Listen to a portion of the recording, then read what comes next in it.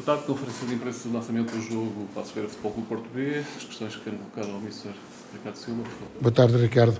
Hum, são dois jogos seguidos com duas equipas mais ou menos com as mesmas características, em alguns aspectos, não em todos, como é lógico, mas são equipas uh, Bs, neste caso Benfica do Porto, equipas com jogadores irreverentes, que querem mostrar, bons tecnicamente, que jogam o jogo pelo jogo. Uh, como é que o Passo Freire vai encarar esta partida? Boa tarde. Uh, antes de mais, deixe-me desejar um bom ano a todos os nossos sócios e adeptos, em especial a todas as pessoas de Passos Ferreira, e que seja realmente um ano uh, muito melhor do que o anterior, que foi um ano desportivamente uh, mau, não se pode dizer de outra maneira, aquilo que, que foi o nosso passado recente, e portanto que seja muito melhor. O que é que eu espero do, deste ano? Um ano mais, um clube mais proativo, uma direção mais ativa, como, porque tem uma direção que eu acho que tem uma excelente capacidade. Um, já trabalhei com inúmeras, ok? Num, num, o futebol para mim já tem 20 anos, já trabalhei com muita gente e é gente com capacidade, mas ainda podemos fazer mais. Uh, eu tenho que fazer mais como treinador, eu tenho que fazer mais como treinador. Os meus jogadores têm que fazer mais ainda como dentro do campo, porque somos nós que jogamos o jogo, somos nós que influenciamos os resultados. E é dentro disto que eu espero que o ano de, de, do clube uh, seja melhor. Se vai ser o nosso ano, é difícil. Ser o ano do Passos Ferreira, porque nós estamos longe de uma classificação condizente com, com aquilo que são as nossas expectativas iniciais, mas o que é certo é que o caminho faz caminhando e tem que haver um início, não é? Para este caminho, um dia uh, levar ao sucesso que toda a gente espera, uh, para se conseguir meter o clube onde toda a gente quer que ele esteja, que é um clube realmente da primeira liga, não é? Agora, é preciso toda, toda a gente dar ao chinelo, como se costuma dizer na linguagem futebolística, para fazermos muito mais, a começar por mim, porque uh, eu sou muito exigente comigo próprio e quero muito mais desta equipa, e o que é certo é que a equipa tem vindo a evoluir, mas mas, e é um mas muito grande, um, o que é certo é que não ganhámos os últimos dois jogos, independentemente de ficar com sensações positivas ou não. Isso é importante para nós batermos o jogo em si, dentro do balneário, dentro daquilo que é a nossa dinâmica do jogo, para trazermos as sensações positivas. Mas não ganhámos. E é esse lado competitivo que nós temos que ser ainda muito melhores dentro do campo, eh, é esse lado competitivo de exigência, de não, de não ficarmos contentes com o um empate em casa, de não ficarmos contentes com o um empate em Leiria, e, e, temos que ser muito mais. E isso tem que começar a partir de mim e dos meus jogadores, que somos aqueles que influenciamos os jogos, os jogos ao, ao fim de semana. Isso é aquilo que eu espero para o, para o novo ano, para uma linha diferente do, do, do, do clube e para começar não é? Hã? E o adversário, dois. E o adversário, o adversário de, deste jogo é um adversário difícil, difícil, como são todos em segunda liga, mas este realmente tem uma capacidade boa. Uh, nos últimos anos, daquilo que eu vejo das equipas B do Porto, uh, eu punha esta equipa logo a seguir à equipa de Luís Castro, que, que, que venceu a segunda liga uh, há uns anos a esta parte porque tem realmente muito valor individual. E o que é certo é que os jogadores vão andando e entrando alguns deles na equipa principal. Alguns deles vão fazendo banco, o João Mendes tem feito equipa principal, enfim, o David Carmo e o Romá são dois centrais que um já esteve e o outro pode dar seguimento uh, a entrar na equipa principal. Uh, um meio-campo, um ou dois jogadores que podem entrar em equipa principal e têm feito banco. Malta da linha da frente, o caso do Bendel e do Abraham, uh, que a qualquer momento até podem ser é a minha leitura, não quer dizer que eu esteja certo, mas a qualquer momento podem ir à Primeira Liga para rodar, uh, porque parecem dois jogadores já de um nível muito alto para a Segunda Liga e, uh, e que acrescentam valor individual a esta equipa do, do Porto B. Portanto, estamos a falar de uma equipa muito competente. Uh, aliado àquilo que são as equipas B, uma equipa que gosta de assumir o jogo, uma equipa capaz, tecnicamente, decide bem.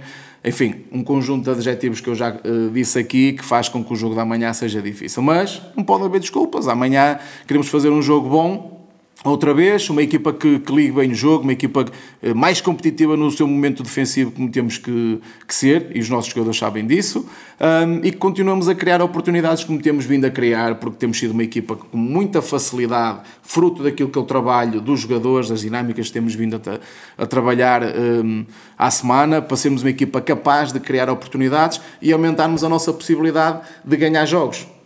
Porque se crias uma, pode, o futebol é assim, se crias uma oportunidade ou duas, podes ganhar o jogo, não há problema, pode, pode acontecer. Mas o que é certo é que eu acredito quantas mais criar, mais poder se tem para poder ganhar jogos. E é isso que temos batido na equipa, ofensivamente, e, e, e sermos mais capazes ainda mentalmente para não, não ficarmos no quase. Eu ia fazer uma pergunta sobre a frustração dos últimos dois resultados, mas já respondeu a ela. Eu ia só fazer então mais uma pergunta. Estamos em janeiro. Em janeiro é o mês das retificações do plantel. Quer entradas, quer também pessoalmente algumas saídas.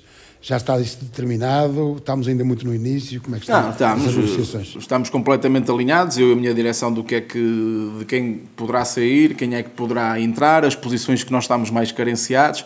Nós temos o, o potencial que temos no mercado, sabemos que não somos um clube neste momento. Um, e quando digo apetecível não tem a ver com a, nossa dimensão é que nos faz ser apetecíveis, não é? Porque do ponto de vista financeiro um, partimos atrás de outros clubes, mas isso não é desculpa para fazermos uns ajustes interessantes para nos colocar na rota ainda de maior sucesso. Está tudo identificado, hum, mas deixe-me dizer-lhe uma coisa: eu, uh, os mercados de janeiro, eu não é eu acredito pouco neles, eu acredito que as coisas têm que ser feitas lá atrás, não é? E quem vier como milagreiros para salvar alguma coisa, que às vezes é importante, um, eu acredito nos jogadores que nós temos aqui e é com larga maioria que nós temos aqui desses jogadores que vamos resolver os nossos problemas e acrescentar um ou outro valor que venha a acrescentar alguma coisa ao grupo. Ah, muito bom dia, Mr. Ricardo Silva. Um, antes de mais, quero que lhe desejar-lhe um sucesso de 2024, a nível pessoal e também já agora para a equipa do Pasto Ferreira. Uh, eu não vou falar do jogo, do jogo de amanhã, frente ao Futebol Clube Porto. Penso que todas as táticas e pormenores aqui já foram ditos.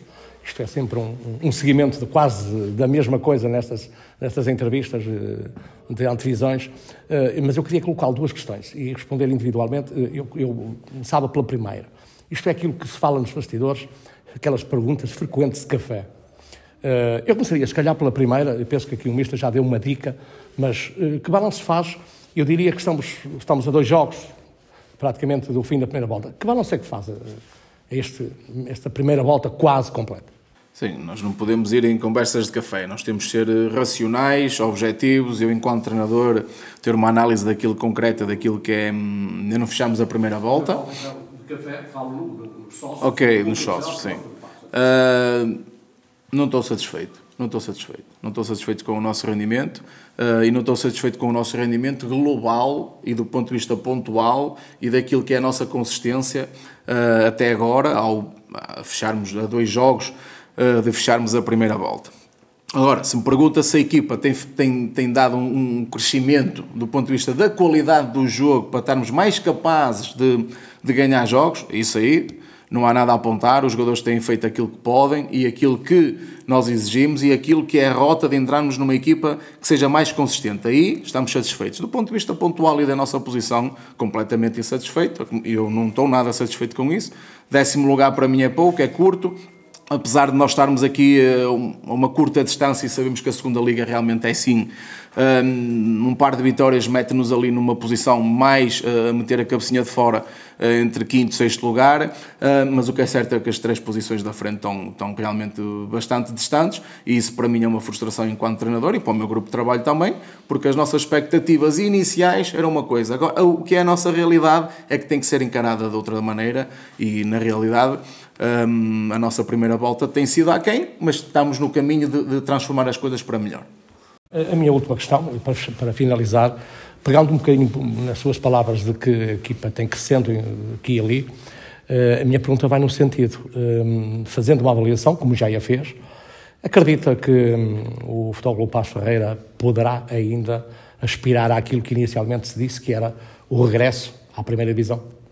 Aquilo que pode aspirar é assim, isto, eu guio muito por, por probabilidades, não ando aqui como um sonhador e, e a, a, ver coisas onde, onde ninguém vê. Eu tenho que ver é coisas onde ninguém vê, dentro do campo, para melhorar a equipa e não ir na, na entre aspas, na, naquilo que são comentários alheios de quem é o futebol um, de uma maneira como eu vejo que sou o treinador da equipa.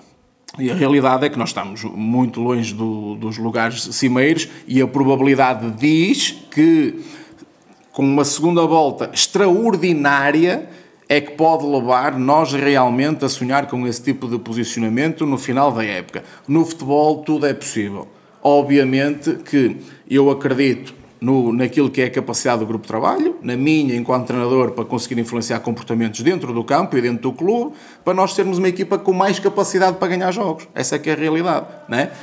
Quantos jogos precisamos consecutivos para ganhar, para nos tornarmos uma equipa em março ou abril ou até maio, perto desses lugares? Não sei, não sou futurologista, o que é certo é que são precisos muitos consecutivos para nós continuarmos a almejar e a sonhar com algo no final da época. Mas é uma realidade muito difícil, mas o mais importante é o jogo da manhã com o Porto B e o nosso dia a dia para transformar o clube para melhor.